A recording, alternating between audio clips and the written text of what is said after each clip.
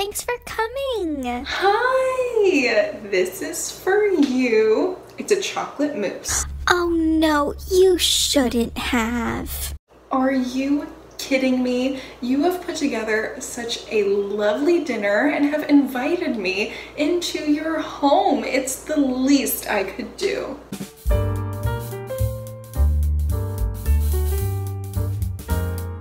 I'm so glad the mask mandates are getting dropped. Finally, I get a chance to breathe clearly and enjoy the summer. It has been a, a, tough couple of years. I'm glad to see things going back to normal a bit.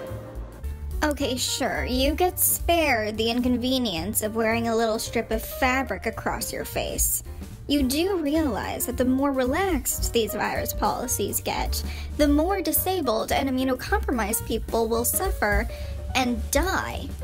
I do think it's unfortunate that disabled and immunocompromised people aren't taken into consideration for most policies. It's sad. Yeah, sure. They've basically admitted that masks don't do anything anyway, so it's really just this unnecessary symbol of wokeness. I have heard something to that effect that masks aren't as effective as what we may hope they are. I guess I just keep wearing them because I don't want to make people feel uncomfortable.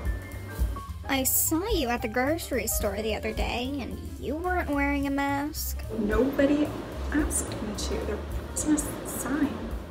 So, see anything good recently?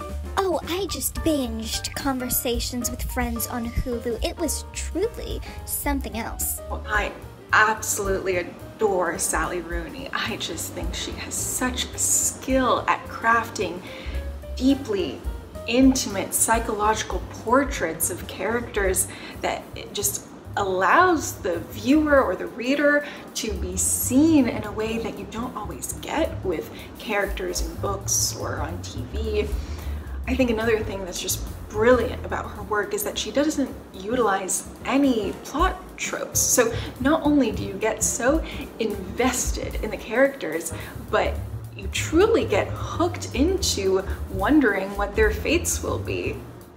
Oh, I started reading Normal People and just couldn't finish it. She just throws in socialism in such a casual way. It's off putting. The class discussion is so shallow and just reeks of white feminism. Oh, yeah, I guess Sally Rooney is a Marxist. I forgot about that. I just like her stuff because it's so character centered and torturously romantic. Yeah, that's one thing that does put me off about her. I just try to ignore all that socialist propaganda. I mean, how can anyone even call themselves a Marxist while living in a blatantly capitalist society?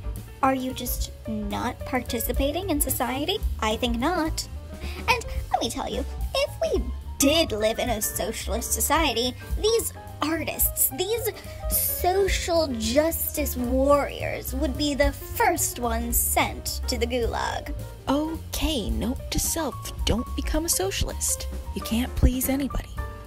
Thank you so much for dinner. It all looks lovely. I can't wait to dig into that chocolate mousse you brought us for dessert. It's nothing special. I just wanted to contribute. See how considerate, contributing to the common collective. Sure, being communal is all nice and good at a dinner party, but you know what that means politically? Draining taxpayers' pockets collecting welfare, all because you couldn't be bothered to get a job. And why? Chronic fatigue. God, here we go again.